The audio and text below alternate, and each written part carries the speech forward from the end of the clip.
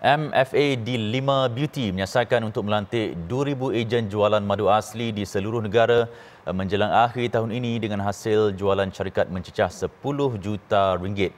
Pengasasnya Muhammad Firdaus Ahmad berkata eh, pihaknya yakin sasaran itu dapat dicapai berdasarkan sambutan dan kepercayaan pengguna kepada kualiti dan keaslian jenama madu D5 keluaran syarikatnya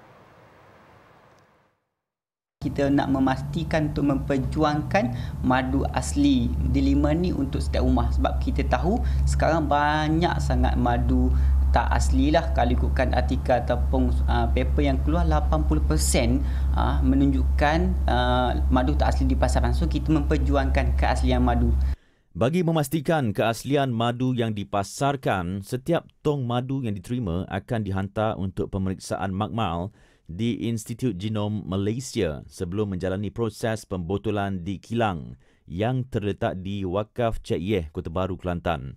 Tawaran pulangan wang tujuh kali ganda turut ditawarkan sekiranya madu yang dibeli pelanggan mempunyai campuran atau tidak 100% madu asli. Terdapat pelbagai variasi madu untuk pilihan pelanggan antaranya madu tualang, madu akasia hutan, madu kelulut dan juga madu sidr atau madu yaman.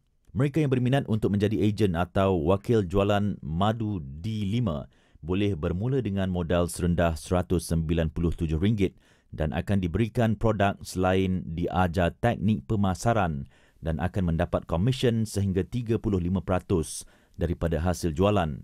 Sempena Ramadan, Madu D5 menyediakan tawaran diskaun menarik selain menyediakan hadiah cabutan bertuah seperti menunaikan umrah.